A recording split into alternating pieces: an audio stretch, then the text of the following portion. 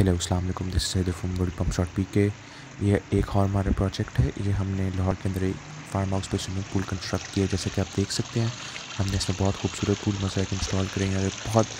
नीच और बहुत प्यारा सा हमने इसके अंदर एक वाटरफॉल भी इंस्टॉल किया अगर जो आपको पसंद आ रहा है और आप हमारे से कॉन्टैक्ट करना चाहते हैं, हमारे नंबर डिस्क्रिप्शन में भी बना thank you and Allah half